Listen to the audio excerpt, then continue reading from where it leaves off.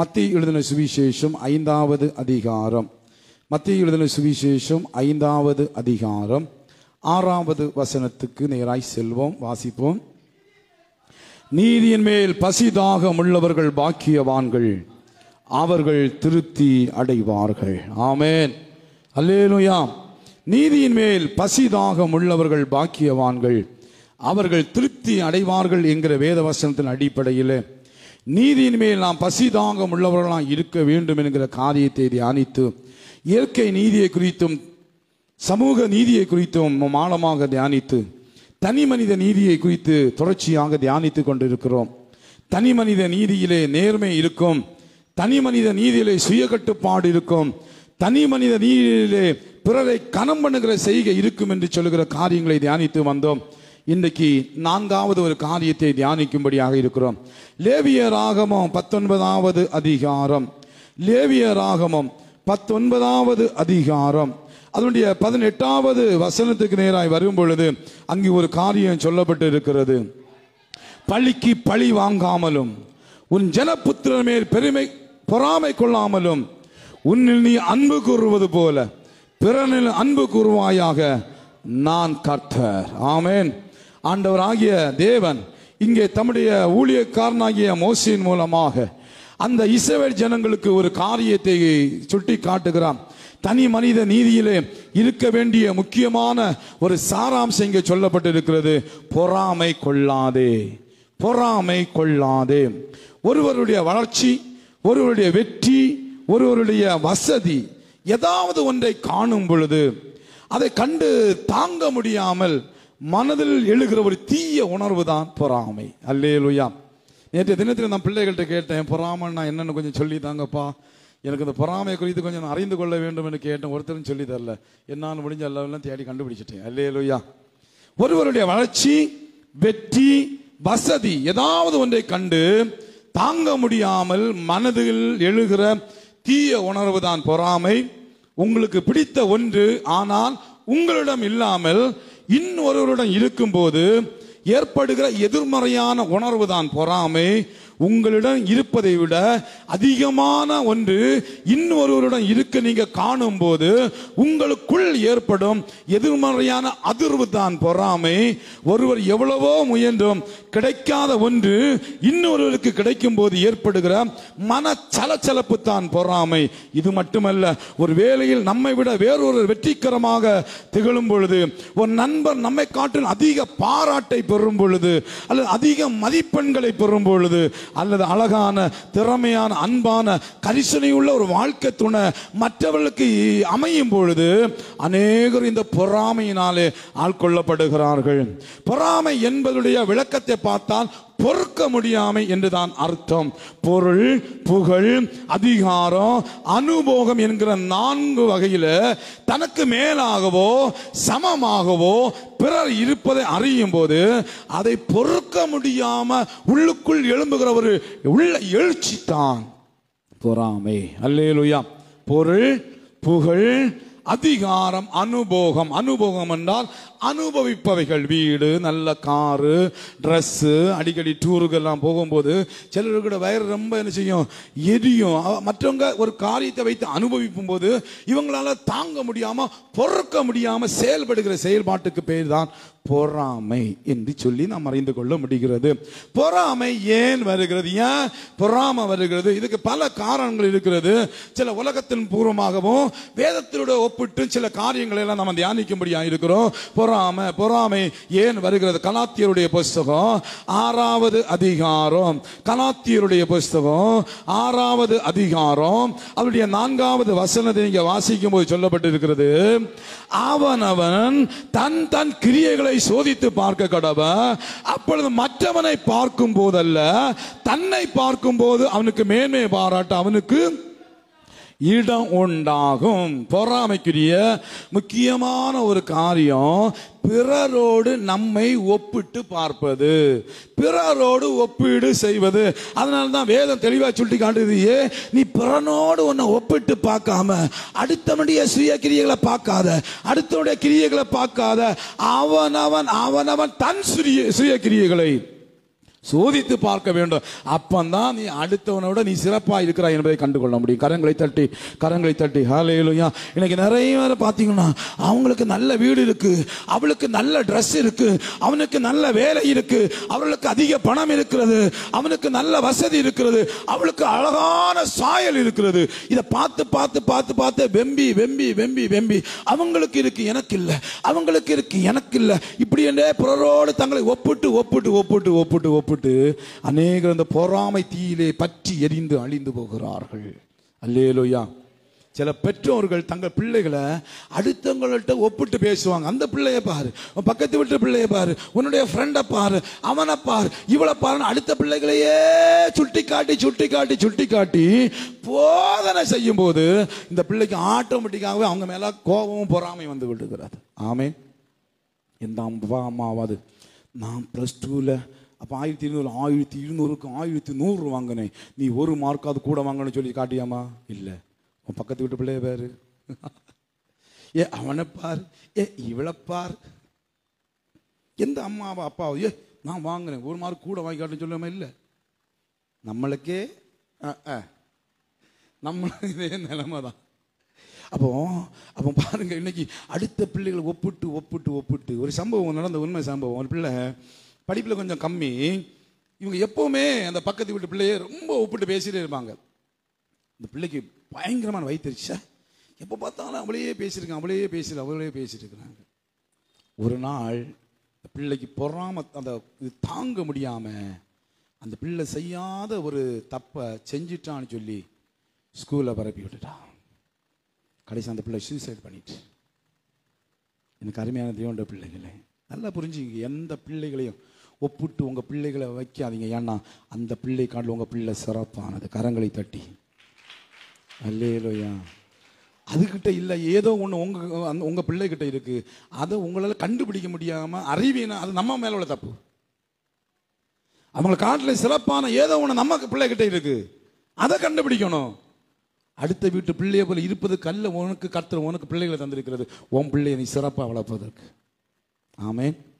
அல்லேலூயா. அப்போ நம்ம என்ன செய்யணும் சொல்லணும் நம்ம அடுத்தவங்களோடு கூட நம்மளை ஒப்பிட்டு ஒரு நாள் பார்க்கக்கூடாது. நம்ம பிள்ளைகளை நம்ம புருஷனை அவருக்கு புருஷனை பாரு அவளுக்கு புருஷனை பாரு. அவளுக்கு மாப்பிளே பாரு. புருஷனை சொல்ல மாட்டேன். அவளுக்கு மாப்பிளே பாரு. அவளுக்கு மாப்பிளே பாரு. சோத்திர. அல்லையா நிறைய சொன்னால் அதிகமாகி ஆனால் நிற்பாட்டி கொள்ளுகிறேன். எப்போதுமே அடுத்தவங்க உங்களுக்கு தந்த கணவன் உங்களுக்கு தந்த மனைவி உங்களுக்கு தந்த பிள்ளை உங்களுக்கு தந்த மருமக்க உங்களுக்கு தந்த பேர பிள்ளைகள் அவங்களுக்கு அவர்கள் விசேஷித்தவர்கள். ஆமேன். அடுத்தவங்களை கூட ஒப்பிட்டு அடுத்த வீட்டோடு ஒப்பிட்டு உங்களை நீங்களே தரம் தாழ்த்தாதீங்க. உங்களை பிள்ளைகளை தரம் தாழ்த்தாதீங்க. ஒப்பிட்டு பார்ப்பது தான் மிகப்பெரிய ஆபத்து. அதுதான் பொறாமைக்கு முக்கியமான பிரதானமான காரியமாய் காணப்படுகிறது. இப்படி ஒப்பிடும்போது இந்த பொறாமை தீ அப்படியே பற்றி எரிந்து பற்றி எரிந்து பற்றி எரிந்து நம்மையும் அழித்து போடும். நம்முடைய குடும்பத்தையும் அழித்து போடும். ஒன்று பிறரோடு ஒப்பிட்டு பார்ப்பது. ரெண்டு நான் மட்டும்தான் எனக்கு மட்டும்தான் என்கிற சுயநலம் தான் பொறாமையுடைய இன்னொரு காரியம். நான் மட்டும்தான் எப்போதும் முதன்மையாக இருக்கணும். நான் மட்டும்தான் எப்போதும் பதவியில் இருக்கணும். நான் மட்டும்தான் எப்போதும் புகழோடு இருக்கணும். நான் மட்டும்தான் எப்போதும் மேன்மையாக இருக்கணும். நான் மட்டும்தான் எப்போதும் ஸ்டாராக இருக்கணும். அல்லேலுயா. இந்த இந்த இந்த வெறி இந்த வெறி ஒரு மனுஷனுக்கு எப்படி இருக்கிறோ இது இந்த யானைக்கு மதம் பிடிச்சது போல இருக்கும் இந்த மதம் ஒரு மனுஷனுக்குள்ள எப்போ இருக்கோ அந்த மனுஷன் பொறாமை எரிந்து கொண்டே தான் இருப்பான். அல்லேலுயா. அல்லேலுயா சோதரன். தன் பதவியில் இருக்கிற ஒருவன் அல்ல சோதரன் தன் பதவியில் இருக்கிற அந்த சூழ்நிலையில் இன்னொருவன் தன்னை சார்ந்த ஒருவன் அந்த பதவிக்கு வருகிறான்னு அறிஞ்சாலே சிலர் என்ன செய்வாங்க? எப்படியாவது அவன் அழிச்சிடணும் எப்படியாவது அவனை ஒன்றும் இல்லாமல் ஆக்கணும். தங்களால் ஏந்த என்னெல்லாம் வழி உண்டு. எல்லாம் செய்கிறார்கள். ஆமேன். நான் இருக்கிற நிலைமையில யாரும் வரக்கூடாது. எனக்கு எனக்கு ஈக்குவலா யாரும் வரக்கூடாது. எல்லாரும் எனக்கு கீழாகத்தான் இருக்கணும்னு. அந்த எண்ணம் ஒரு மனுஷனுக்குள் இருக்கும் பொழுது அங்கே பொறாமை வளர ஆரம்பிக்கிறது. அங்கே பிரச்சனை வர ஆரம்பிக்கிறது. ஆமே யாராவது இங்கே இருக்கிறவங்க தான் அம்பானியை போல வரணும். அம்பானியை மேலே பொறாமப்படுவீங்களா? இல்லை மோடிஜியை போலயாவது நம்ம பாரத பிரதமர் போல யாராவது? அவரை போல ஊர் சுத்தலையா? அவர் இப்படிலாம் ஊர் சுத்திட்டு இருக்காரு. பொறாமப்படுறீங்களா? இல்ல. ஏ டோனியை பார்த்தாவது பொறாமப்பட்டீங்களா? ஏய் பக்கத்தில் இருக்கிற பார்த்து பொறாமப்பட்டு என்னமாக சாதிக்க போறீங்க? பக்கத்து வீட்டுக்காரங்களையும் பக்கத்தில் இருக்கிற பிள்ளையும் பார்த்து பொறாமப்பட்டு எதை சாதிக்க போறீர்கள்? அவங்க மேலே பொறாம போடணும். அடுத்தனா பில்கேஸ் வா அவனை போகிறேன் அவன் பணக்காரன் ஆயிட்டானா? அப்படிலாம் வராது நமக்கு. நம்ம ஏன்னா இந்த இங்கே இப்படியே தான் பார்த்து நடப்போம் கீழே. அங்கே பார்க்க மாட்டோம். அல்லே லுயா அல்லே லுயா சிலர் மற்றவங்களுக்கு உதவி செய்வாங்க. ஆனால் எந்த சூழ்நிலையும் தன்னை தாண்டி வளர விட மாட்டாங்க. பார்த்துருக்கீங்களா? இந்த லீடர்ஷிப்ல எல்லாம் நிறைய பார்க்க முடியுது. இந்த அரசியல்வாதிகளை பார்ப்பாங்க. பாருங்க நிறைய பேர் அப்படி ஊக்கப்படுத்தி இருப்பாங்க. ஏ அரசியலுக்கு அதை பண்ணி இதை பண்ண. ஆனால் அவரை காட்டிலும் மேலே வருவதற்கு அவ்வளவுதான். சில நாட்கள் வருடங்களுக்கு முன்பதாக சிலர் நல்ல ஃபேமஸ் அந்த கொரோனா காலத்துல எல்லாம் சிலர் அப்படியே டி- தொலைக்காட்சியில் ரொம்ப பிரபலமானாங்க. சில கட்சியை சார்ந்தவங்க பிரபலமானாங்க. சில அந்த சுகாதார பணியாளர்கள் பிர- பிரபலமானாங்க. பிரபலமான ஒரு வாரத்தில் அவங்க வேலை மாற்றப்பட்டார்கள். ஊருக்குள்ள பேசியே அடுத்த முதலமைச்சர் இவரா வந்தா நல்லா இருக்குன்னு சொல்லி ஒருத்தர் சொன்னா அன்னையோட அவன் பதவி போச்சு. அல்லேலோயா. நான் மட்டும்தான். நான் மட்டும்தான். நான் மட்டும்தான் ஃபஸ்ட்டு மார்க் வாங்கணும். நான் மட்டும்தான் ஃபஸ்ட்டு மார்க் வாங்கணும். அந்த வெறி அல்லேலுயா நானும் வாங்கணும் மற்றவங்களும் வாங்கினீங்கிற அந்த எண்ணத்துக்கு வர வேண்டும். ஒருத்தர் ஓட்டப்பந்தய போட்டியில் ஓடி தோத்துட்டாங்க. தோத்து ரொம்ப ஹார்ட் ஒர்க் பண்ணி பண்ணிகிட்டே இருக்கிறாரு. அப்போ கோச் வந்து கேட்குறாரு உன்னுடைய ஏம் என்ன? ஒன்று அவரும் சொன்ன அந்த பையன் சொன்னானா இந்த தடவை என்ன அவன் தோக்கடிச்சிட்டான் அடுத்த தடவை அவனை நான் தோக்கடிக்கணும் அதுதான் என்னுடைய ஏம் அல்லேலுயா. அப்போ அந்த கோச்சு சொன்னாராம் உன்னுடைய எய்ம் தவறு. உன்னுடைய எய்ம் தவறு. நீ வெற்றி பெற வேண்டும் என்று ஆசைப்படு. ஆனால் இன்னொருவனை தோக்கடிக்கணும்னு ஆசைப்படாத. அது உனக்குள் வளர்கிற பொறாமையின் அடையாளம். ஆமேன். ஏ நீ ஃபஸ்ட்டு வாங்கணும் ஆசைப்படு. தப்பில்லை. ஆசைப்படு. ஆனால் இன்னொருவனை வீழ்த்தணும்னு ஆசைப்படாத. இன்னைக்கு சபையும் சரி சமுதாயமும் சரி எல்லா இடங்களிலும் சரி இன்னொருவனை வீழ்த்தத்தான் பார்க்கிறார்களே ஒழிய தாங்கள் வரணும்னு ஆசைப்படலை. ஆமே அதுதான் பொறாமையுடைய வெளிப்பாடு. ஒரு சம்பவத்தை கூட உங்களுக்கு சொல்லட்டுமா? ஒரு இடத்துல பிள்ளைகள் சண்டே ஸ்கூல் பிள்ளைகள் எல்லாரையும் அப்படியே கூடி உட்கார வச்சாங்க. எல்லா பெலூன் ஆளுக்கு ஒரு பெலூனை கட்டி ஒரு பெலூனை கட்டி அந்த பெலூனை அவங்க கிட்ட கொடுத்து அவங்க கிட்ட கொடுத்து யார் கடைசி வரையிலும் இந்த பெலூனை உடைக்காம வச்சிருக்கிறீங்களோ அவங்களுக்கு தான் பரிசு அப்படின்னு சொல்லிட்டு அனௌன்ஸ்மெண்ட் பண்ணாங்க. அஞ்சு நிமிஷம் தான் இந்த அஞ்சு நிமிஷத்துல யாரெல்லாம் பெலூனை உடைக்காமல் வச்சிருக்கிறீங்களோ உங்களுக்கு பரிசுன்னு சொல்லி அனௌன்ஸ்மெண்ட் பண்ணி அந்த பெல் அடிக்க ஆரம்பிச்சிட்டாங்க. பட பட பட பட எல்லாரும் கலந்து பக்கத்தில் இருக்கிறவங்க பெலூனை உடச்சி உடைச்சி உடச்சி உடைச்சி தன் பெலூனையும் உடைச்சிட்டாங்க. இப்போ முடிஞ்சோட எல்லா பெலூனும் உடஞ்சி யாரும் பரிசு இல்லை. அப்பந்தான் அதை நடத்தினவர் சொன்னாரா ஏம்மா நான் உங்கள்கிட்ட அடுத்தவங்க பெலூனை உடைக்க சொல்லல. ஹலோ? சொல்கிற புரியுதா? நான் உங்ககிட்ட அடுத்தவங்க பெலூனை உடைக்க சொல்லலை. உன் பெலூனை தான் பத்திரமா பார்க்க சொன்னேன். அப்போ வெற்றின்னு அறிந்த உடனே நம்ம எண்ணம் எல்லாம் எங்க போதும் தெரியுமா? அடுத்தவனை வீழ்த்துவது. சொல்ற புரியுதுன்னு நினைக்கிறேன். நமக்கு ஜெயம்னு நினைச்ச உடனே உடனே நம்முடைய எண்ணம் அவன் சாகணும் அவன் வீழணும் அவன் தோற்கணும் அவன் தோற்கணும். இல்லையா? நான் வளரணும். அதுக்காக இன்னொரு வீழ்த்தி அல்ல ஆனா நான் வளருவேன். நான் வெற்றி பெறுவேன். அந்த எண்ணம் நமக்கு வேணும். கரங்களை தட்டுவீங்களா? சுயநலம் தான் ஒரு மனிதனுடைய மனிதனுக்கு பொறாமை வருவதற்கு முக்கியமான ஒரு காரணம். மூன்றாவது ஒரு சம்பவம் என்ன மூன்றாவது காரியம் என்னன்னா மற்றவர்களுடைய பிரியத்தை மற்றவர்களுடைய அன்பை ஒருவர் சம்பாதிக்கும் போது அதை பார்க்கிறவங்களுக்கு பொறாமை உண்டாகும். அப்படிப்பட்ட ஒரு சம்பவத்தை வேதத்தில் பார்ப்போமா? ஒன்று சாமுவேல் ஒன்று சாமுவேலுடைய புஸ்தகம் பதினாறாவது அதிகாரம். ஒன்று சாமுவேலுடைய புஸ்தகம் பதினாறாவது அதிகாரத்துக்கு வாருங்கள். அங்கே சோதரம் மன்னிக்க பதினெட்டாம் அதிகாரம் பதினெட்டாம் அதிகாரம் ஆறாவது வசனத்தை வாசிங்க பதினெட்டு ஆறு. தாவீது பலிசனை கொண்டு திரும்பி கொண்டு திரும்பி வந்த பின்பு ஜனங்கள் திரும்ப வரும்போதும் ஸ்ரீகள் இஸ்ரவேலின் சகல பட்டணங்களிலும் இருந்து ஆடல் பாடலுடன் புறப்பட்டு மேளங்களோடும் கீத வாக்கியங்களோடும் சந்தோஷமாய் ராஜாவாகிய சபலுக்கு எதிர்கொண்டு வந்தார்கள்.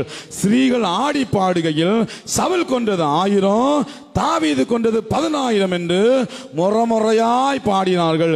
இந்த வார்த்தை சவுலுக்கு விசனமாயிருந்தது. அவன் மிகுந்த எரிச்சல் அடைந்து தாவீதுக்கு பதினாயிரம் எனக்கும் ஆயிரம் கொடுத்தார்கள். இன்னும் ராஜாங்கம் மாத்திரம் அவனுக்கு குறைவா இருக்கிறது என்று சொல்லி அந்நாள் முதல் சவுல் தாவீதை காய்மரகரமாய் பார்த்தான்.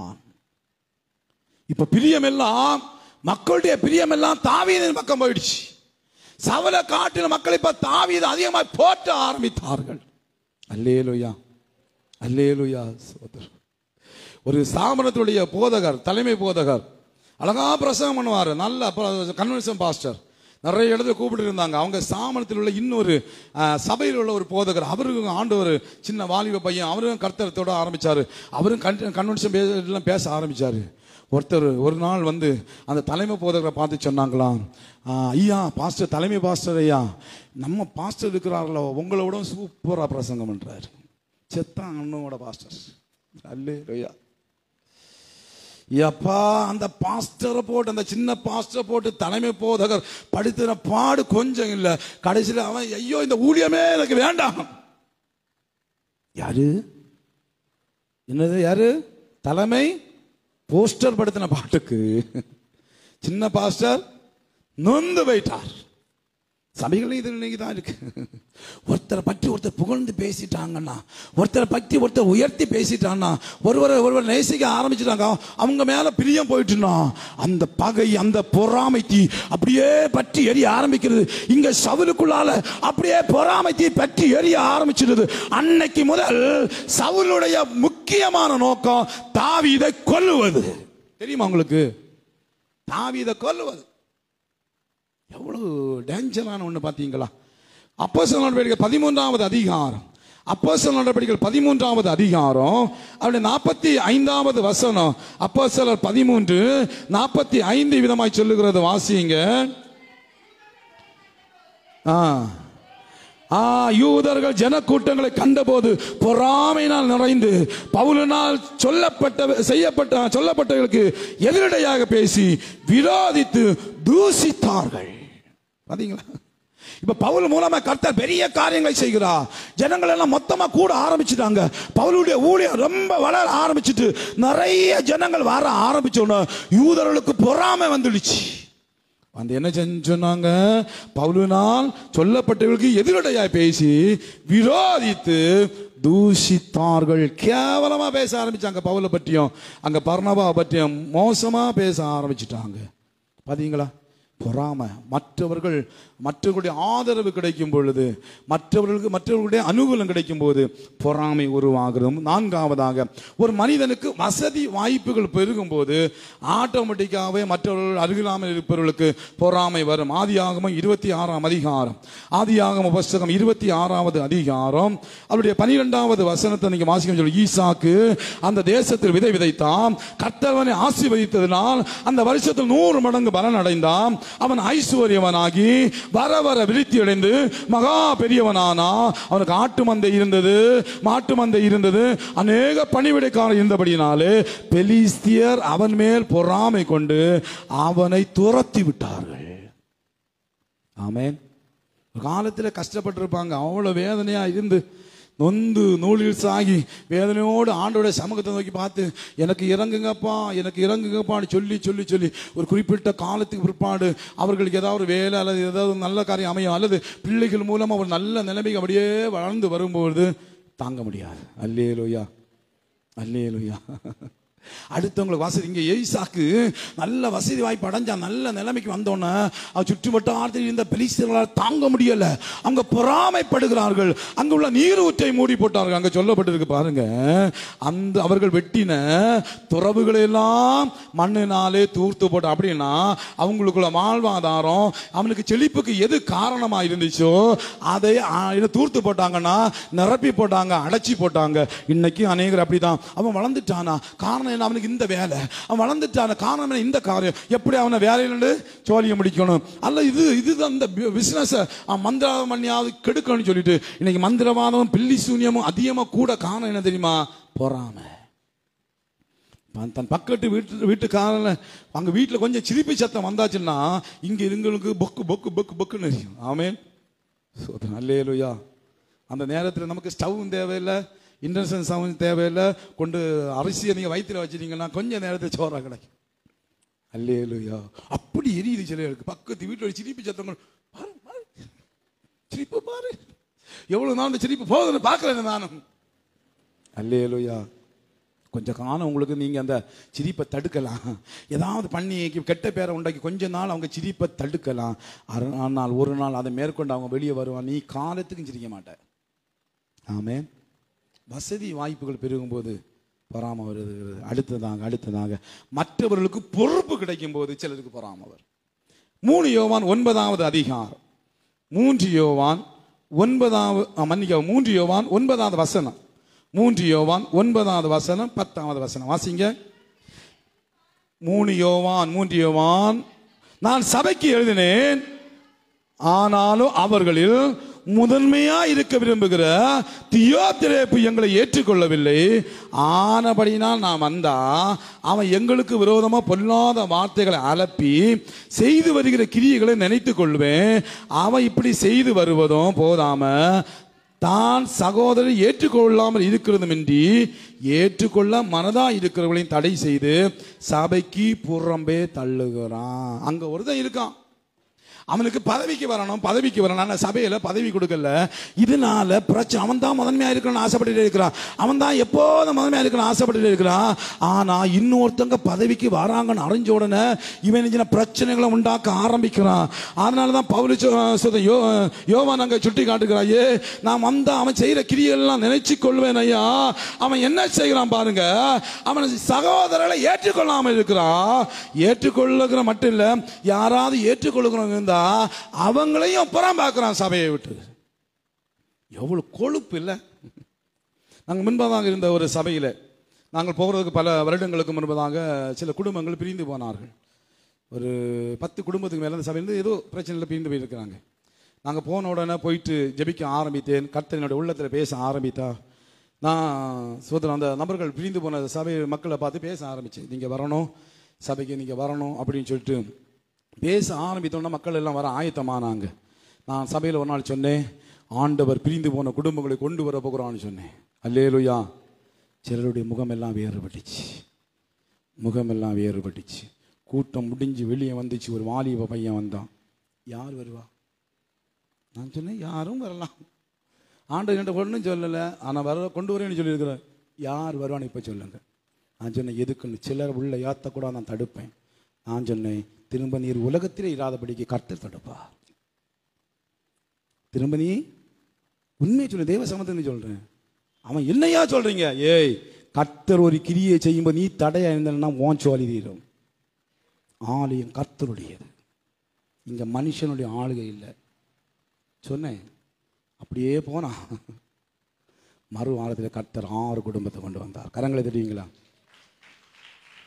அல்லேலோயா. ஆறு குடும்பத்தை கொண்டு சேர்த்தா. வாய்ப்பே கிடையாது அது. வாய்ப்பே கிடையாது. எத்தனையோ பேர் ட்ரை பண்ணாங்க. மாம்சீகத்தில் ஆனால் கர்த்தர் கர்த்தர் ஒரு அலு அனுகூலத்தை செஞ்சார். அப்படி வந்துட்டாங்க அதான். பாருங்க இங்கே ஒருத்தன் சொல்லியிருக்கான் இங்கே ஒருத்தன் இருக்கான் ஏன் நான் மட்டும்தான் இருக்கணும். நான் மட்டும்தான் இருக்கணும் நான் மட்டும்தான் இருக்கணும். எவனையும் உள்ளே விட்டுறக்கூடாது. எவளையும் உள்ளே விட்டுறக்கூடாது. அப்படி யாராவது உள்ளே கொண்டு வந்து நினைச்சா முதல்ல இவனத்துக்கு வெளியே தள்ளு. அல்லே லோயா அடுத்தவங்க வந்துடக்கூடாது நான் மட்டும்தான் நான் மட்டும்தான் நான் மட்டும்தான் நான் மட்டும். அப்படிப்பட்ட மற்றவங்களுக்கு ஏதாவது ஒன்று கிடைக்குது. மற்றவங்களுக்கு ஏதாவது ஒரு ஆசீர்வாதம் வருதுன்னா இவங்களால பொறுக்க முடியாது. பொறாமைக்குள் தள்ளப்படுகிறார்கள். ஆமே ரொம்ப ஆசைப்பட்ட ஒன்று ரொம்ப ஆசைப்பட்ட ஒன்று நமக்கு கிடைக்காம இன்னொருவருக்கு கிடைக்கும் போது அங்கே பெரிய அளவில் பாதிப்பு உண்டாகிறது. பொறாமையின் உச்சத்துக்கே போய் விடுகிறார்கள். ஆறாவதாக ஒரு விதமான பய உணர்வுனாலே பொறாமப்படுகிறாங்க. நம்ம தோற்று போய் விடுவோமோ?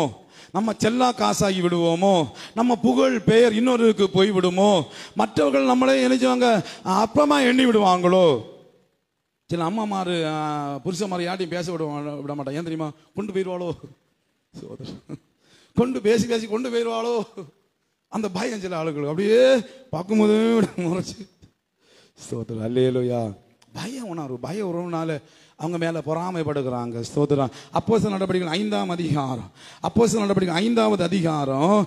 அதனுடைய பதினான்காவது வசனத்திலிருந்து நம்ம தியானிக்கும் போது அங்கே ஒரு காரியம் சொல்லி அப்போ பதினைந்து திரளான புருஷர்களும் ஸ்ரீகளும் விசுவாசம் உள்ளவர்களாகி கத்தரிடமாய் அதிகமாய் சேர்க்கப்பட்டார்கள். பிணியாளிகளே படுக்கை மேலும் கட்டில்கள் மேலும் கடத்தி பேதர் நடந்து போகையில் அவனுடைய நிழலாகிலும் அவர்களை சிலர் மேல் படும்படிக்கு அவர்களை வெளியே வீதிகளை கொண்டு வந்து வைத்தார்கள். சுற்றுப்புறத்தில் உள்ள எல்லாரும் ஜனங்களும் வந்தாங்க. பதினேழாம் வசனம் சொல்லுகிறது அப்பொழுது பிரதான ஆசாரியனும் அவனோடு கூட இந்த சதிசேய சமயத்தார் எல்லாரும் எழும்பி பொறாமையினால் நிரம்பி அப்பா சிலரை பிடித்து பொதுவான சிறையில் வைத்தார்கள். ஒரு பயம். ஏன் எல்லாரும் அவனோட பக்கம் போனா நம்ம நிலைமை என்ன?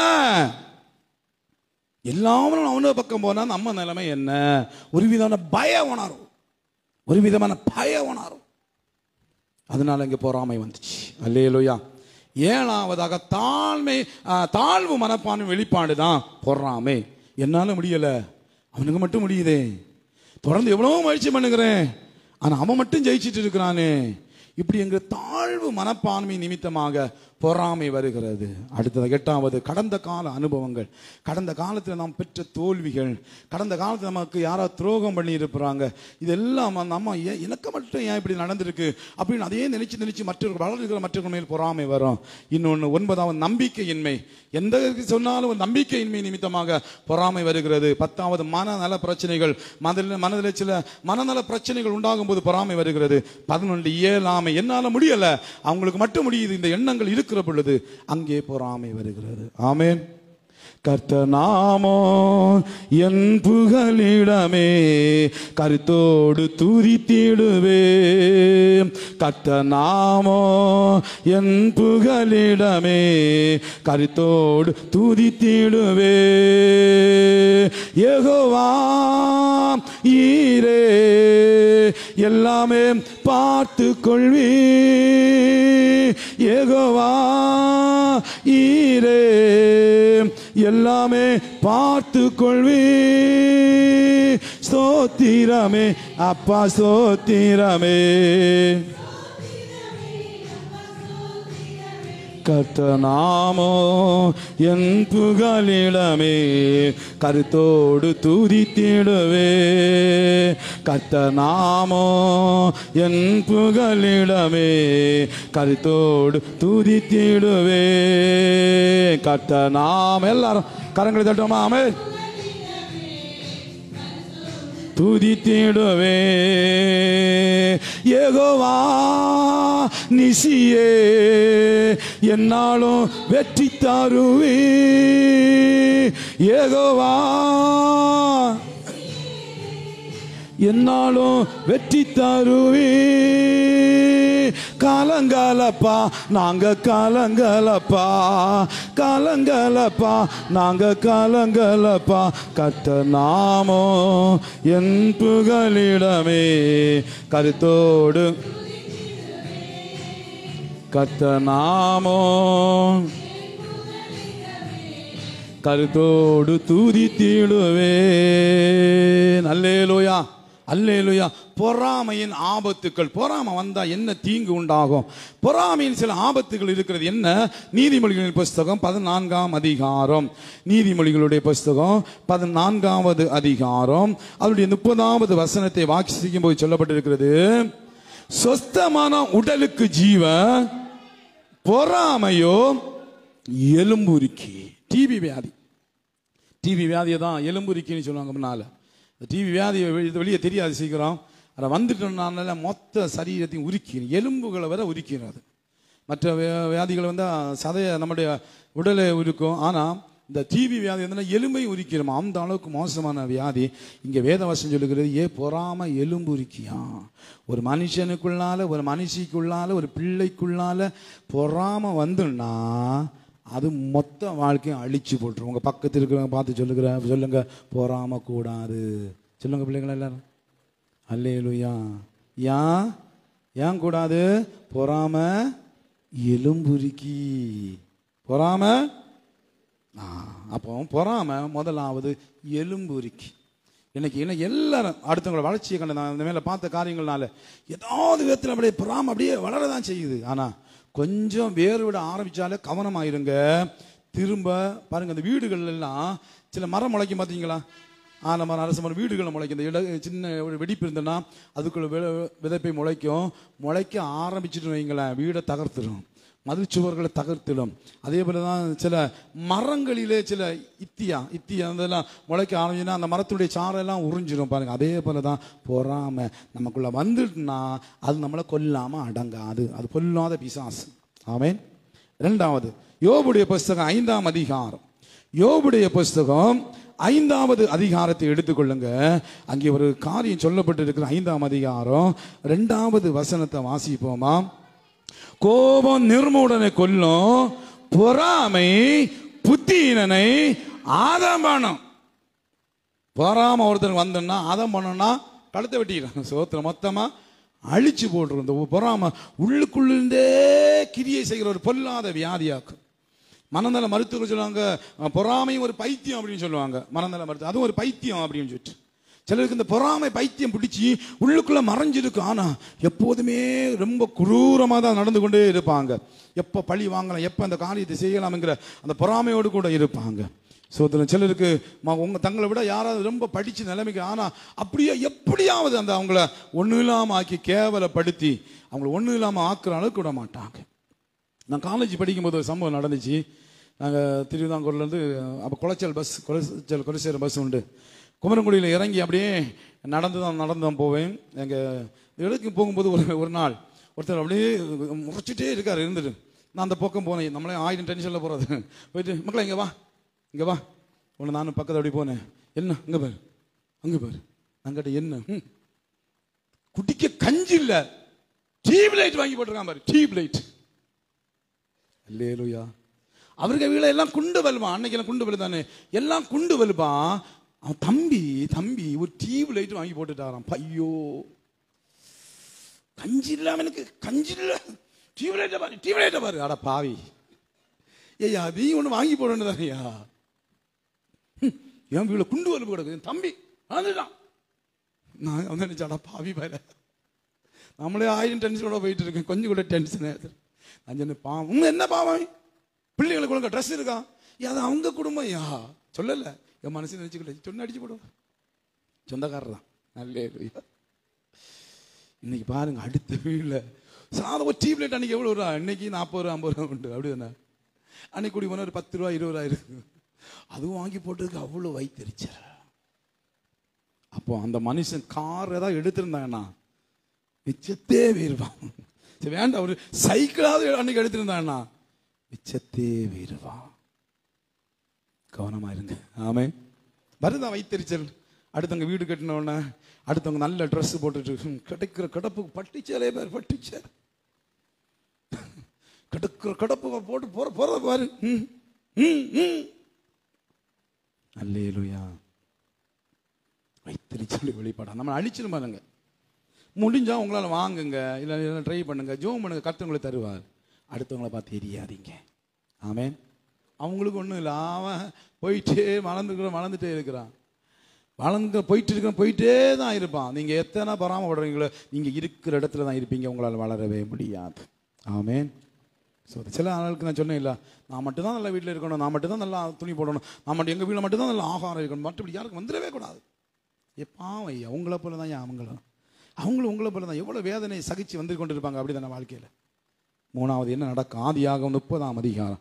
ஒரு முக்கியமான காரியத்தை நம்ம திங்க் பண்ண போகிறோம் ஆதியாகமம் முப்பதாவது அதிகாரத்தில் வந்தீங்கன்னா யாக்கோவுடைய மனைவியாகிய ராகால் செய்த ஒரு செயலை சொல்லி காட்டப்பட்டுகிறது ராகே தன் யாக்கோபுக்கு பிள்ளை பெறாததை கண்டு தன் சகோதரி மேல் பொறாமை கொண்டு யாக்கோவை நோக்கி எனக்கு பிள்ளை கொடும் இல்லைன்னா நான் அப்பொழுது யாக்கோபு ராகேல் மேல் கோபம் கொண்டு தேவன் அல்லவோ உன் கற்பத்தை அடைத்திருக்கிறான் நான் தேவனா என்றான். அப்பொழுது அவள் இதோ என் வேலைக்காரிய பிள்கால் இருக்கிறாளே. நீ ஏன் கவலைப்படுற? நல்ல ராகேல். அல்லேலுயா. அல்லேலுயா. ஸோ இப்படிப்பட்ட மனைவி ஒருத்தங்க அமையாதுமா? ஐயா அமையாது. யாக்கோ கொடுத்து வச்சோன்னு நீங்க நினைக்கலாம். ஆமேன். அப்படிதானா? இது சொல்ல அவ சொல்றா ஐயா நான் என்ன நீ ஏன் கவலைப்படுற? என்னுடைய வேலைக்காரி பில்கால் இருக்கிறாளே. அவள் மூலமாய் குழந்தையை பெற்றுக்கொள்ளும். அப்படி அவள் ஒரு குமாரனை பெற்றாள். ஐந்தாம் வசனம் பிள்ளைகள் கற்போதியாகி யாக்கோவுக்கு ஒரு குமாரனை பெற்றாள். அப்பொழுது ராகேல் அந்த வார்த்தை நல்லா கவனிங்க. அப்பொழுது ராகேல் தேவன் என் வழக்கை தீர்த்து என் சத்தத்தை கேட்டு எனக்கு ஒரு குமாரனை கொடுத்தார் என்று சொல்லி அவனுக்கு தான் என்று பெயரிட்டாள். தான் அந்த வார்த்தை அந்த மனசை அந்த வார்த்தை அந்த பேரை நல்லா மனசில் வச்சுங்களேன் பாருங்க என் வழக்கான தீத்திட்டாரு என் சத்தத்தை கேட்டுட்டாரு. ஐயோ எனக்கு ஒரு குழந்தை பிறந்துச்சுன்னு சொல்லிட்டு அவனுக்கு தானுன்னு பேர் வச்சு இப்போ அந்த குழந்தைய வளர்க்க ஆரம்பிக்கிறாள். அல்லேலுயா. வளர ஆரம்பிக்கிறாங்க வளர ஆரம்பிக்கிறாங்க. ஆனா ஆனா நான் வெளிப்படுத்தின விசேஷம் ஏழாம் அதிகாரம். வெளிப்படுத்தின விசேஷம் ஏழாம் அதிகாரம்.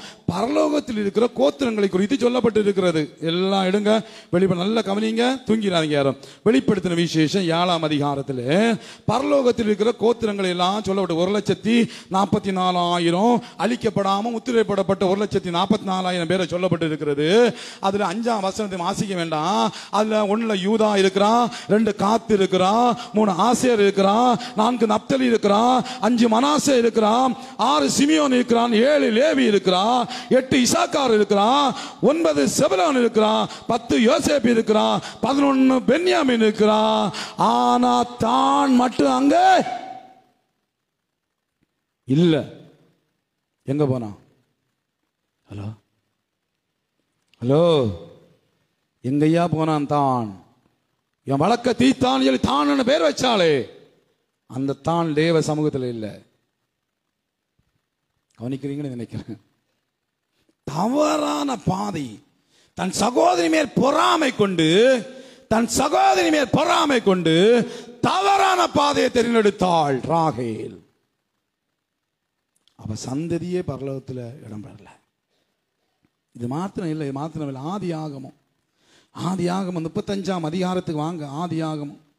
முப்பத்தஞ்சாவது அதிகாரத்துக்கு நீங்க வரும் பொழுது அங்கே ஒரு காரியம் சொல்லப்பட்டிருக்கு. இருபத்தி ரெண்டாவது வசனம் வாசிக்க வேண்டாம் வாசிக்க வேண்டாம். யாக்கோவுக்கு ஒரு மூத்த குமாரன் இருந்தான் பேர் ரூபன். யாக்கோவுடைய சேஷ்டபுத்திரன் அந்த இருபத்தி ரெண்டாம் வசனத்தை சொல்லி ரூபன் போய் தன் தகப்பனுடைய மர்மநாட்டி ஆகிய பில்காலோடு தவறு செய்தான். ஹோ! ஹலோ கவனிக்கிறீங்கல்ல? வேலைக்காரி இருக்க வேண்டிய இடத்துல அவளை வச்சிருக்கணும். அவளை வீட்டுக்கு மகாராணி ஆக்கினாள் ராகே இப்போ அவள் வீட்டிலே இறங்கி வேலை செய்ய ஆரம்பிச்சிட்டா. சொந்த பிள்ளை ரூபன். தவறான பாதை எங்க கொண்டு விடுது பாருங்க. பொறாமை எங்க கொண்டு விடுது பாருங்க. எங்க கொண்டு விடுது?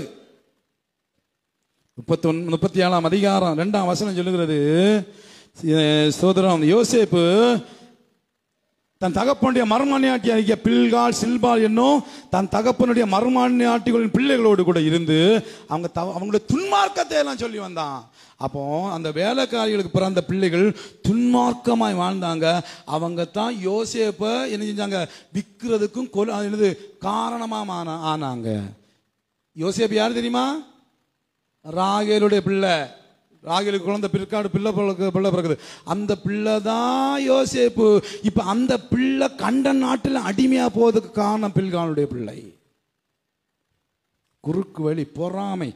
குறுக்கு வழியில் கொண்டு வந்து மொத்த சமுதாயத்தை அழிச்சு போடுறது பார்த்தீங்களா குடும்பத்தின் மானத்தை கப்பல் வாங்குற பாத்தீங்களா? இது மட்டும் இல்ல அங்க சொல்லப்பட்டிருக்கிற யோசப்பை வித்து போட்டாங்க. வித்து போட்டுட்டு அவங்க ஐடியா பண்றாங்க. என்ன ஐடியா பண்ணாங்கன்னா சோதனை சொல்லப்பட்ட பத்தொன்பதாம் வசனத்துல ஒருவர் நோக்கி இதோ சொப்பனக்காரன் வரான். முப்பத்தி ஏழுல நாம் அவனை கொன்று இந்த குழியிலே ஒன்றிலே போட்டு ஒரு துஷ்ட அவனை பட்சித்து என்று சொல்லுவோம் வாருங்கள். அவனுடைய சொப்பனங்கள் எப்படி முடியும் பார்ப்போம். பாப்பையா இவனை சொப்பனம் எப்படி முடியுது? அவனை வித்து போட்டாங்க. வஸ்திரத்தை ஒரு ஆட்டுடைய ரத்தத்தில் மூழ்கி கொண்டு அப்பா கிட்ட கொடுத்தாங்க. பார்த்துலேருந்தே அப்பன் செத்துட்டான். அந்த உயிர் மட்டும்தான் இருந்துச்சு. உயிர் மட்டும்தான் இருந்துச்சு. ஆனால் அது பிற்பாடு சுமார் பதினைஞ்சு வருஷத்துக்கு பிற்பாடு பதினைந்து வருடங்களுக்கு பிற்பாடு யோசேப்பு உயிரோடு இருக்கிறான் என்கிற செய்தி வந்தபோது யாக்கோவுடைய ஆவி உயிர்த்தது என்று நாற்பத்தாறாம் அதிகாரம் சொல்லப்படுகிறது. எடுத்துக்கொள்ளுங்க. ஆதியாக நாற்பத்தாறாம் அதிகாரம் இருபத்தி ஏழாம் வசனம். அவர்கள் யோசேப்பு தங்களோடு சொன்ன வார்த்தைகள் யாவையும் நாற்பத்தஞ்சு இருபத்தி ஏழு நாற்பத்தஞ்சு இருபத்தி ஏழு யாவையும் அவனுக்கு சொன்ன போது தன்னை ஏற்றி கொண்டு போகும்படி யோசேப்பு அனுப்பின வண்டிகள் அவன் கண்ட போதும். அவனுடைய தகப்பனாகி யாக்கோவன் ஆவி உயிர்த்தது கரங்களை தட்டி ஏ ஏ ராகேல் சொன்னான்னு சொல்லி யாக்கோபு காரியத்தை செஞ்சான். பதினஞ்சு வருஷத்துக்கு மேலே செத்த வாழ்க்கை அவனுக்கு செத்த வாழ்க்கை. ஒவ்வொரு நாள் பிள்ளையை குறித்து ஏங்கி ஏங்கி ஏங்கி செத்த வாழ்க்கை. ஒரு பொறாமை எங்கே கொண்டு விட்டுச்சு பார்த்தீங்களா ராகேல் தன் பிள்ளைகள் ஆசீர்வாதமாக இருக்கதை பார்க்கவே இல்லை. ரெண்டாவது டெலிவரியில் ராகேல் மறித்து போனாள். எனக்கு அருமையான ஒரு பொறாமை. அவள் தன் தன் சொந்த சகோதரி மேலே பொறாமை கொண்டு தன் கணவனை தவறான பாதை நடத்தினார். விளைவு இவ்வளோ அப்போ பொறாமை என்ன செய்யும்? தவறான பாதையில் நம்மை நடத்தி செல்லும். அடுத்ததாக சங்கீதங்களின் புஸ்தகம் நூற்றி ஆறாம் சங்கீதம். சங்கீதங்களின் புஸ்தகம் நூற்றி ஆறாம் சங்கீதம். அதனுடைய பதினாறாவது வசனத்திலிருந்து பதினெட்டாவது வசனம் வாசிக்கும் போது சொல்லப்பட்டிருக்கிறது. ஆ, பாளையத்தில் அவர்கள் மோசையின் மேலும் கர்த்தோடைய பரிசுத்தவானாகிய ஆரோன் மேலும் பொறாமை கொண்டார்கள். பூமி பிளந்து தாத்தானை விழுங்கி ஆபிரகாம் கூட்டத்தை மூடி போட்டது அவர்கள் கூட்டத்தில் அக்கினி பற்றி எரிந்தது. அக்னி ஜுவாலி துன்மார்க்கரை எரித்து போட்டது. பொறாமை வந்துச்சு. பொறாமையினாலே அவங்கள வழி நடத்தி கொண்டு வந்த மோசையின் மேலும் அவர்களுக்காக தேவனத்தில் பரிந்து பேசி கொண்டிருந்த பரிசுத்தவானாகிய ஆரோன் மேலும் பொறாமை கொண்டு அவங்களுக்கு விரோதமாக எழும்புனாங்க. அவங்களுக்கு விரோதமாக எழும்புனாங்க. கடைசியில் பூமி பிளந்து எல்லா நூலையும் உள்ளே கொண்டு போச்சு. பொறாமை நம்மை அழித்து போட்டு விடும் ஆமேன். பொறாமை நம்மை மோசமான முடிவுக்கு கொண்டு வரும். அப்படி பூமி பிளந்து யாருமே உலகத்தில் போனது கிடையாது. ஆனால் அவனுக்கு ஒரு மோசமான முடிவு உண்டாச்சு. அதுவரை இல்லாத அளவுக்கு மோசமான ஒரு முடிவு பூமி பிளந்து அப்படியே உயிரோட எல்லாம் பாதாளத்துக்கு இறங்கினாங்க. மோசமான முடிவை பொறாமை கொண்டு வந்து விடும் அடுத்ததாக ஐந்தாவது ஒன்று சாமுவேல் பதினெட்டாம் அதிகாரம். ஒன்று சாமுவேல் பதினெட்டாம் அதிகாரத்தில் நம்ம வந்து தியானிச்சோமே தாவீது தாவீதுடைய அந்த கோலியாத்தை கொண்ட அந்த சம்பவத்திலிருந்து சபுல் கொண்டது ஆயிரம் தாவீது கொண்டது பதினாயிரம் பத்தாயிரம் என்று சொல்லி முறமுறையா முறமுறையா பெண்கள் எல்லாம் சோதரம். அங்கே பாடி ஆடி வந்த உடனே சவுலுக்கு கோபம் வந்துச்சு பொறாம வந்துச்சு சொன்னாங்க பாத்தீங்களா? என்ன நடந்துச்சு தெரியுமா? ஒன்பதாம் வசனத்தில் வாசிங்க. அந்நாள் முதல் கொண்டு சவுல் தாவீதை காய்மகாரமாய் பார்த்தான். மறுநாளிலே தேவனால் விடப்பட்ட பொல்லாத ஆவி சவுலின் மேல் இறங்கிட்டு போதும். கவனிங்க நல்லா கவனிங்க. சொல்லப்பட்டிருக்கிறது சா தாவீதின் மேல அவன் பொறாமப்படுகிறான். தாவீதின் மேல கோபப்படுகிறான். வேத வசம் சொல்லுகிறது மறுநாளிலே ஒரு பொல்லாத ஆவி மறுநாளிலே ஒரு பொல்லாத ஆவி சவுலின் மேல வந்துச்சு. தேவையா? அவன் ஒரு ராஜா. ராஜா. தன்னை விடவும் தாவீது புகழ் பெறுகிறான் என்கிற அந்த வைத்தெரிச்சல் பகை பகைக்க ஆரம்பிச்சான் பொறாமைப்பட ஆரம்பிச்சான். அன்னையிலேருந்து பொல்லாத ஆவி அவனை மொத்தமாக ஒதுக்கிட்டே வந்துச்சு. அல்லேலோயா அல்லேலோயா. அன்னையிலேருந்து அவன் வேலை என்ன தெரியுமா? கையில் ஒரு ஈட்டியோட அளவான். பதினொன்று அவசரம் அப்பொழுது சவில் தாவீதை சூரோடு சேர்த்து உருவ குத்தி போடுவேன் என்று ஈட்டி அவன் மேலே எறிந்தான். ஒரு வாட்டி இல்லை பாலவாட்டி பாலவாட்டி பத்தொன்பதாம் அதிகாரம். ஒன்பதாம் வசனத்தில் சொல்லப்பட்டிருக்கிறது கத்தரால் விடப்பட்ட பொல்லாத ஆவி சவுல் மேல் வந்தது. அவன் தன் வீட்டில் உட்கார்ந்து தன் ஈட்டியை கையிலே ஆ, இப்போ ஒன்றா கையில் வச்சுட்டே இருக்கான். ஈட்டி அப்படின்னா வஞ்சகம். அவனுக்கு அடுத்தவங்களை கொல்லணுங்கிற ஒரு ஒரு காரியம். ஏதோ அப்போ ஒரு பொறாம ஒருத்தனுங்களை வருதுன்னா ஏதோ அவனை வச்சுட்டே இருப்பான். ஏதோ அவனை வச்சுட்டே இருப்பான். அவன் தன் கையில் வச்சுட்டே இருப்பான். அடுத்த மேலே எய்வதற்கு எறிவதற்கு. பொல்லாத ஆவி சவுல பிடிச்சு அலக்கழிச்சிட்டு. காரணம் பொறாமை. ஆறாவதா? கலாத்தியர் ஐந்தாம் அதிகாரம். கலாத்தியருடைய புஸ்தகம் ஐந்தாவது அதிகாரத்தை எடுத்துக்கொள்ளுங்க. கலாத்தியருடைய புஸ்தகம் ஐந்தாவது அதிகாரம் இருபத்தி ஒன்றாவது வசனம். பொறாமைகள் கொலைகள் வெறிகள் களியாட்டுகள் முதலியவைகளே இப்படிப்பட்டவர்களை செய்கிறவர்கள் தேவனுடைய ராஜ்யத்தை சுதந்திரிக்கவே மாட்டாங்க. போச்சு.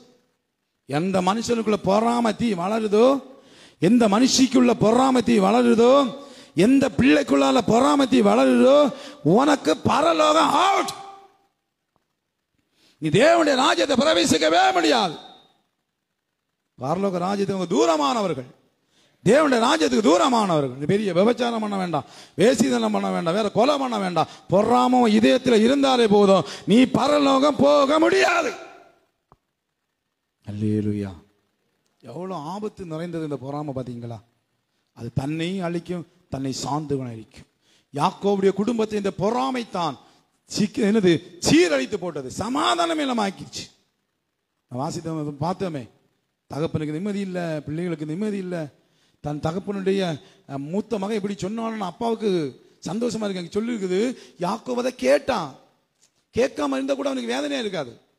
ஏற்கனவே பிள்ளை காணாம போயிட்டான். வேதனை நொந்து போயிருக்கும் போது தன்னுடைய மூத்த மகன் இப்படி தப்ப பண்ணிட்டான்னு சொன்ன அந்த வேதனை இப்படி இருக்கும் அவனுக்கு யோசித்து பாருங்க. ஐயோ என் மகனா எனக்கு விரோதமாகவா? எனக்கு துரோகம் பண்றானா? செத்துட்டான் யாக்கோவு அவன் எவ்வளவு வேதனைய நமக்கும் கொடுக்கறது நம்ம சார்ந்தவங்களுக்கும் கொடுக்கறது. இந்த பொறாமை நமக்கு அவசியமா? அல்லேலுயா. நமக்கு நம்ம என்ன செய்வது வேதம் சில ஆலோசனை கொடுக்குற வெகு சீக்கிரமாக பார்ப்போம். ரோமருக்கு எழுந்த நிருபம் பதிமூணாவது அதிகாரம். ரோமருக்கு எழுந்த நிருபம் பதிமூன்றாவது அதிகாரம். அதனுடைய பதிமூன்று பதினான்கு வசனங்களை வாசிக்க சொல்லப்பட்டிருக்குது களியாட்டும் வெறியும் வேசித்தனமும் காம விகாரமும் வாக்குவாதமும் பொறாமையும் உள்ளவர்களாய் நடவாமல் பகலில் நடக்கிறவர்களைப் போல சீராய் நடக்க கடவும். முதலாவது சொல்லப்பட்டிருக்கிறது ஏ பொறாமை உனக்கு வேண்டாம். நீ பொறாமை இல்லாமல் சீராய் நட. பொறாமை வந்துச்சுன்னா நம்ம வாழ்க்கை தடுமாறும். பொறாமை வந்துச்சுன்னா உன் ஞானம் தடுமாறும். பொறாமை வந்துச்சுன்னா உன்னோட சூழ்நிலை எல்லாம் தடுமாறும். அதனால நீ தடுமாறி தடுமாறி வாழாம நீ சீரா நடக்கணும்னா பொறாம இருக்கக்கூடாது. ஆமே வாழ்க்கை சீரா நட நேர்மையா நட சரியா நட. உனக்குன்னு ஒரு ஆசீர்வாதம் உண்டு. அதை கருத்து உனக்கு தருவார். ஆமே நான் சொன்னேன்ல நீங்க ஒவ்வொருத்தங்களும் விசேஷித்தவர்கள். தாவி இது முப்பது வயதுல ராஜாவாய் மாறுவான்னு சொல்லி அவன் மலை மலைகளில் ஆடுகளை மேய்த்து கொண்டு இருக்கும்போது அவனுக்கு தெரியாது. யோசேப்பு முப்பது வயதில் எகிப்துக்கு அதிபதியாய் மாறுவான் என்று சொல்லி அவன் ஜெயிலில் இருக்கும்போது சொல்லி போத்திபார் வீட்டில் இருக்கும்போது சொல்லி தன் தகப்பன் வீட்டில் இருக்கும்போது அவனுக்கு தெரியாது. அண்ணமார் அப்படி இருக்காங்க. என் தா இவங்க எல்லாம் இப்படி இருக்கிறாங்க. அவன் அப்படி இருக்கான்னு அப்பா அவன் பொறாமப்பட்டிருந்தான்னா அவன் ஃபியூச்சர் பாழாயிரும். பொறுமையாக இருந்தான். அல்லேலுயா. நமக்கு நாளைக்கு என்ன மேன்மை இருக்குன்னு நமக்கு தெரியாது. மோடிஜி பிரதமர் ஆவார் கனவில் கண்டிருப்பாரா? ஸ்டாலின் முதல்வர் அவர் கனவில் கண்டிருப்பாங்களா? இல்லை. ஆனால் காலங்கள் வருதில்லை. உங்களுக்கு ஏதோ ஒன்று கருத்தில் வச்சிருக்கிறார். ஆமென். உங்களுக்கு ஏதோ ஒன்று கருத்தில் வச்சிருக்கிறார். அது வருகிற வரையிலும் அடுத்தவங்களை பார்த்து பொறாமப்படாதங்க. அடுத்தவங்களை போல வாழணும் ஆசை தான் நம்ம பொறாமைக்கு நேரே தள்ளுகிறது. பொறாமப்படாதங்க. உங்களுக்குரிய மேன்மை எதுவும் நோக்கி காத்திருங்கள். ஆமேன். அல்ல சீராய் நடக்கணும். ரெண்டு கலாத்தியர் ஐந்தாம் அதிகாரம் இருபத்தி ஆறாவது வசனம். கலாத்தியர் ஐந்தாம் அதிகாரம் இருபத்தி ஆறாவது வசனம் சொல்லுகிறது. வீண் புகழ்ச்சியை விரும்பாமலும் ஒருவரை ஒருவர் கோபமிட்டாமலும் ஒருவர் மேல் ஒருவர் பொறாமை கொள்ளாமலும் இருங்கள். சீரா நடைங்க. எந்த சூழ்நிலையிலும் பொறாமப்படாம இருங்க. கொலோசியர் மூணாம் அதிகாரம் எட்டாவது வசனம். கொலோசியர் மூணாம் அதிகாரம் எட்டாவது வசனம். இப்பொழுது கோபமும் மூர்க்கமும் பொறாமையும் உங்கள் வாயில் பிறக்கலாகாத தூஷணமும் வம்பு வார்த்தையுமாய் இவைகளை விட்டு விடுங்கள் உங்களுக்குள்ள பொறாமை இருக்கா? இன்னையோடு விட்டுருங்க. இந்த செய்தியை கேட்ட பிற்பாடும் இனி நீங்கள் பொறாமையோடு கூட அழி இருப்பீங்கன்னு சொன்னால் உங்கள் அழிவிலிருந்து யாரும் உங்களை காப்பாற்ற முடியாது. இன்னைக்கு விட்டுருங்க. அல்லேலுயா. பக்கத்துக்கு பார்த்து சொல்லுங்க. விட்டுருங்கம்மா. விட்டுருங்க. சொல்லுங்க. அல்லேலுயா. எல்லாத்தையும் விட்டுறாங்க சரியா? சோதரம் விட்டுருங்க. அடுத்ததாங்க ஒன்று பேர் ரெண்டாம் அதிகாரம் ரெண்டாம் வசனம். ஒன்று பேர் ரெண்டாம் அதிகாரம் ரெண்டாவது வசனம். சகல துர்க்குணத்தையும் சகலவித கபடத்தையும் வஞ்சகங்களையும் பொறாமைகளையும் சகலவித புறங்கூறுகளையும் ஒழித்து போடு ஒழிச்சிருங்க வேணாம். அது நமக்கு வேண்டாம். பொறாம வரும்பொழுது ஒரு காரியத்தை சொல்லுங்க. ஏ அவளை காட்டில் நான் விசேஷித்தவன். அல்லேலுயா. எனக்குள்ள மேன்மை இனிதான் வரப்போகிறது. ஆமேன். அல்லே லுயா அந்த அந்த இது அவளை போல நான் மாறேன்னு ஆசைப்படி நல்ல பொறாம வருது. இல்லை நான் விசேஷம் எனக்குள்ள மேன்மை வருதுயா?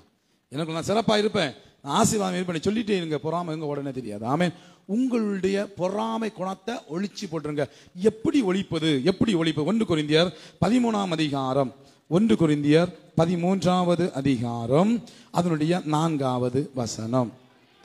அன்புக்கு அன்பு நீடிய சாந்தமும் தயவு உள்ளது. அன்புக்கு பொறாமை இல்லை. போதும். எப்படி ஒழிப்பது? இந்த பொறாமை குணத்தை எப்படி நான் நினைக்க இருக்கிறேன் நான் பொறாமை படக்கூடாதுன்னு நான் நினைக்கிறேன். ஆனால் அந்த பொறாமை வந்துடுது எனக்கு ஆட்டோமேட்டிக்காக அது என்ன அறியாமலே வருது. நான் ஏன்னு செய்யலை. ஆனால் அது வந்துடுது என்ன செய்கிறது வேதம் சொல்லுகிறது அன்புக்கு பொறாமை இல்லை. அவங்கள பார்த்து சொல்லுங்கள் யார் மேலே உங்களுக்கு பொறாமை வருகிறதோ அவங்கள நான் நேசிக்கிறேன்னு சொல்லுங்க. அல்லேலுயா. அல்லேலுயா. சோதரம் அந்த பொறாமை குணம் வருது. உங்க கூட படிக்கிற பிள்ளைகள்கிட்ட வரும். அல்ல உங்களோட வேலை பார்க்குறவங்களோட வரும். சோதரம் சரியா? அங்கே அப்படிப்பட்ட எண்ணங்கள் வரும். உங்கள் அகலத்தால் இருக்கிறவங்க அவங்கள நான் நேசிக்கிறேன். என்னை போல தான் கருத்தர் அவங்களையும் படைச்சிருக்கிறார். ஆமே என்ன போல தான் அவங்களையும் கருத்தர் படைச்சிருக்கிறார். ஆகவே அவர்களும் நல்லா இருக்கணும் நானும் நல்லா இருக்கணும். இந்த எண்ணங்களை வளர்த்து கொண்டு அவர்கள் மேல் அன்பு செலுத்துங்கள். நீங்கள் அவங்கள நேசிக்க ஆரம்பிச்சிட்டிங்கன்னா அந்த மாதமும் வேண்டாம் பில்லி சுனியும் வேண்டாம் பொறாமையும் வேண்டாம். அவங்களும் நல்லா இருப்பாங்க நீங்களும் நல்லா இருப்பாங்க இருப்பீங்க. ஆமே லவ் டஸ் நாட் envy. அன்புக்கு பொறாமை இல்லை. அப்போ அன்பு நம்ம அன்பில் வளரணும். எந்த அளவுக்கு நீங்கள் அன்பில் வளர்றீங்களோ அந்த அன்பு அதிகமாக அதிகமாக அதிகமாக அங்கே பொறாமைக்கு இடமே இல்லை. ரெண்டு கலாத்தியர் ஆறாவது அதிகாரம். கலாத்தியருடைய புஸ்தகம் ஆறாவது அதிகாரம். எடுத்துக்கொள்ளுங்க. கலாத்தியருடைய புஸ்தகம் ஆறாவது அதிகாரம். அப்படியே மூன்று நான்கு ஆகிய வசனங்கள் அடிக்கடி நம்ம வாசிக்கிற வசனம் தான் ஆ. ஆ. ஒருவன் தான் ஒன்றுமில்லாதிருந்த தன்னை ஒரு பொருட்டென்று எண்ணினால் தன்னை தானே வஞ்சிக்கிறவனாவான். அவனவன் தன் தன் சுய கிரியைகளை சோதித்து பார்க்க கடவன். அப்பொழுது மற்றவனை பார்க்கும் பொழுதல்ல தன்னை பார்க்கும்போது மேன்மை பாராட்ட அவனுக்கு இடம் உண்டு. அல்லேலுயா. தனக்குள் உள்ளதிலே திருப்திப்பட வேண்டும். தனக்கு ஆண்டவர் என்ன தந்திருக்கிறாரோ அதில் திருப்திப்பட வேண்டும். பிறரிடத்தில் இருக்கிற பொருளுக்கும் ஆசைப்படக்கூடாது. அடுத்தவங்கள்ட்ட இருக்கிற பொருளுக்கும் ஆசைப்படவே கூடாது. ஆண்டவர் எனக்கு தந்ததுக்கு நன்றி சொல்லி நீங்கள் அப்படியே முன்னேறி போயிட்டே போங்க. நினைப்பதற்கும் வேண்டுவதற்கும் அதிகமாய் கிரியை செய்கிற ஆண்டவர் மகிமையான காரியத்தை தருவா ஒன்று தீமைத்தை ஆறாம் அதிகாரம். ஒன்று தீமைத்தையுடைய புஸ்தகம் ஆறாவது அதிகாரம். ஆறு ஏழு ஆகிய வசனங்கள் சொல்லுகிறது போதும் என்கிற மனதுடன் கூடிய தெய்வ பக்தியே மிகுந்த ஆதாயம். உலகத்தை நாம் ஒன்றும் கொண்டு வந்ததும் இல்லை இதிலிருந்து ஒன்றும் கொண்டு போவதும் இல்லை என்பது நிச்சயம். உண்ணவும் உடுக்கவும் நமக்கு உண்டாயிருந்தால் போதும் என்று என்ன கடவோம். ஆமேன். அல்லேலூயா. ஏ நம்ம எதையும் கொண்டு வந்ததில்லை. எல்லாமே ஆண்டவர் தாழ் தான் இப்போ கொஞ்சம் தந்தவர் நாளைக்கு நிறைய தர மாட்டாரா சொல்றது புரியுதா? இன்னைக்கு கொஞ்சம் தந்த நாளைக்கு நிறைய தர மாட்டாரா தருவா. அதனால கிடைச்சதுல திருப்திப்படுங்க. இந்த இந்த ஆசீர்வாதம் நமக்கு இப்போதைக்கு. இந்த நன்மை தான் நமக்கு இப்போதைக்கு. இந்த மேன்மை தான் இப்போதைக்கு. நமக்கு இந்த மனைவி தான். நமக்கு இந்த புருஷன் தான். நமக்கு இந்த பிள்ளைகள் தான். அல்லேலுயா. அல்லேலு இருக்கிறதுல திருப்திப்பட ஆரம்பித்து பாருங்கள்.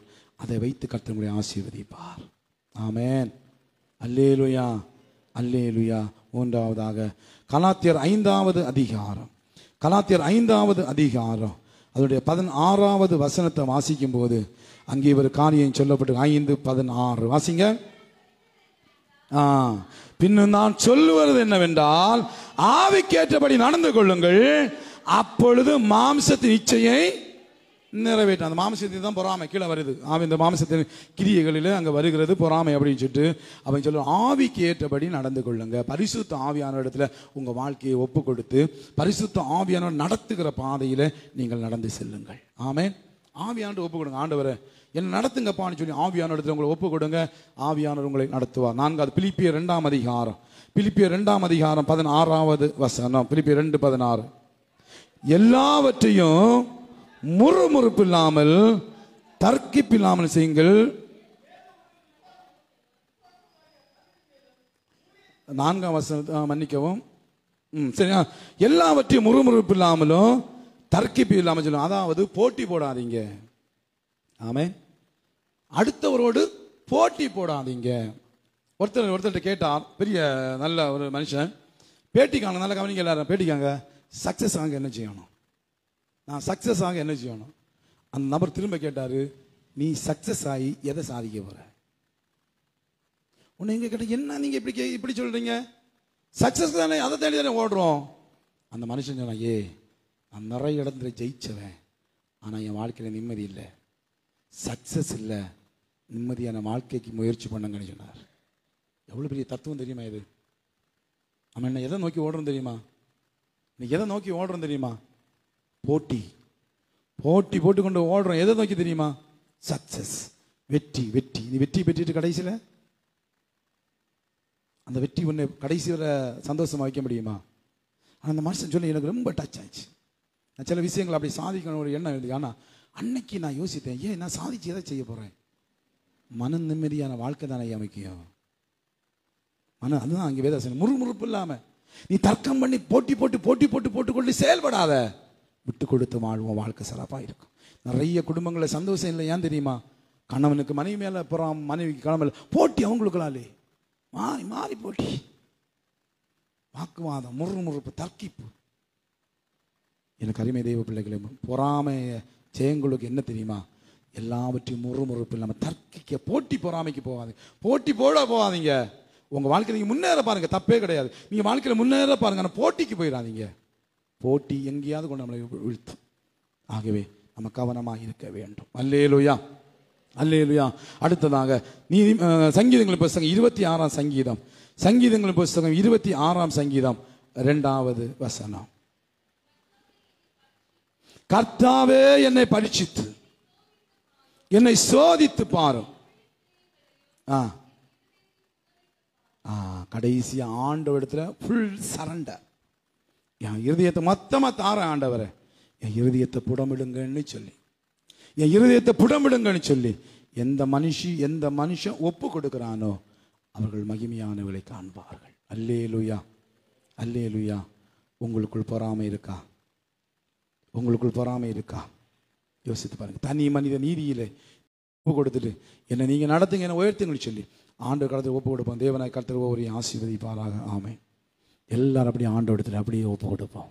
எல்லாரும் எல்லாரும். இந்த பொறாமை தன்னை அழிக்கிற இந்த பொறாமை யாரிடம் இருக்கிறதோ அவர்களை அழிக்கிற இந்த பொறாமை யாரிடம் இருக்கிறதோ அவர்களுடைய குடும்பத்தை அழிக்கிற இந்த பொறாமை எனக்கு வேண்டாம் ஆண்டவரே. எனக்கு வேண்டாம் ஆண்டவரே. எனக்கு வேண்டாம் ஆண்டவரே. சில தன் மனசிலே நினைச்சிட்டு இருப்பாங்க. எனக்கு கிடைக்காதது யாருக்கும் கிடைக்கக்கூடாது. எனக்கு கிடைக்காதது யாருக்கும் கிடைக்கக்கூடாது. எவ்வளவு எவ்வளவு மோசமான செயல் தெரியுமா அது? சிலர் எனக்கு மட்டும்தான் கிடைக்கணும்.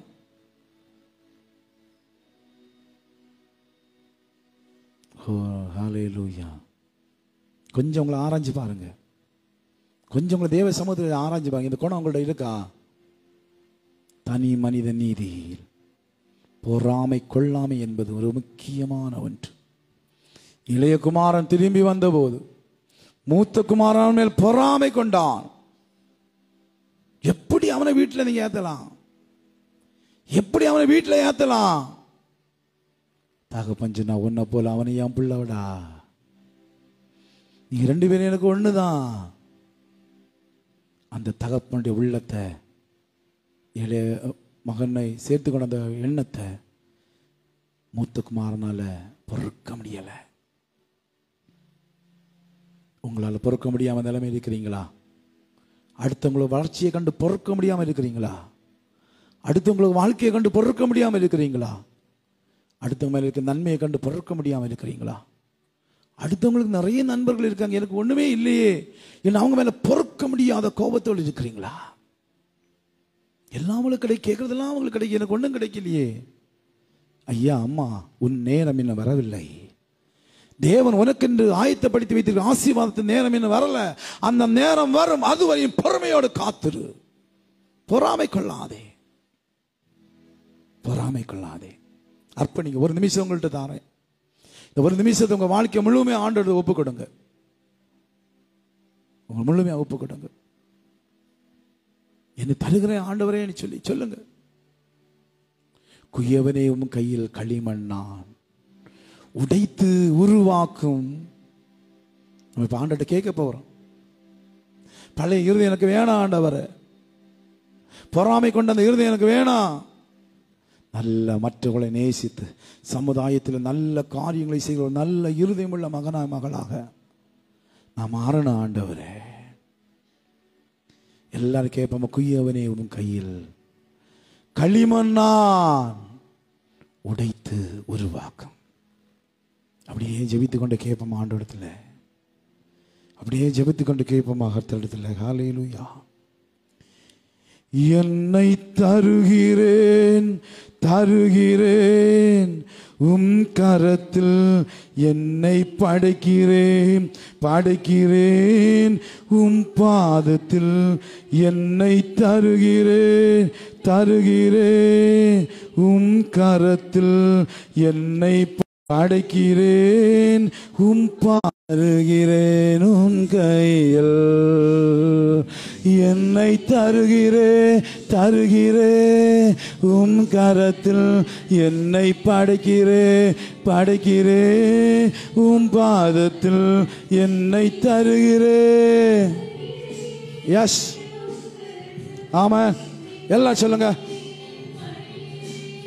உம் பாதத்தில் உருவாக்குமே என்னை உருவாக்குமே உருவாக்குமே என்னை. உமக்காக நான் வாழ்கிறேன். வனைந்துவிடும் உம் சித்தம் போல.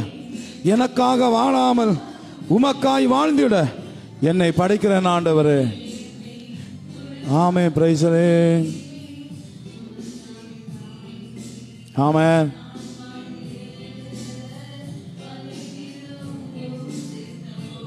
இயேசுவே.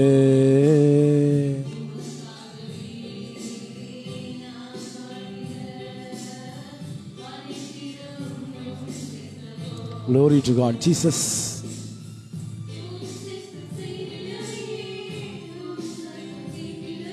இசபா எல்லாரும் வாயிலை திறந்து என்னை உருவாக்குமே உருவாக்குமே என்னை உருவாக்குமே உருவாக்குமே என்னை உருவாக்குமே உருவாக்குமே என்னை உருவாக்குமே. என்னை தருகிறேன் தருகிறேன் உம் கரத்தில் என்னை படுக்கிறேன் படுக்கிறேன். உம் பாதத்தில் என்னை தருகிறேன் இயேசுவே ஆமாப்பா. படிக்கிறே உம் பாதத்தில் உருவாக்குமே என்னை உருவாக்குமே. ஆம ஆண்டோட கேட்போமா எல்லாரும் ஆண்டோட கேட்போமா பொறாமை இல்லாத கசப்பு இல்லாத ஒரு நல்ல ஒரு வாழ்க்கை வாழ பழி வாங்குற எண்ணம் இல்லாம ஆண்டவரே நல்ல வாழ்க்கை வாழ எனக்கு உதவி செய்யுங்க ஆண்டவர். என்னை அதுக்காக உருவாக்குங்கப்பா. ஆமன்.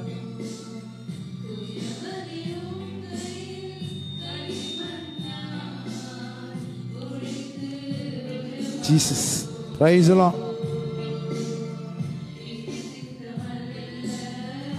ஆண்டவர் தருகிற உம் கையில். இதன் சித்தமல்ல. ஏசப்பா உம் கையில் என்னை தருகிறே தருகிறே. உம் கரத்தில் என்னை படைக்கிறேன் படைக்கிறே. உம் பாதத்தில் என்னை தருகிறே. ஏசப்பா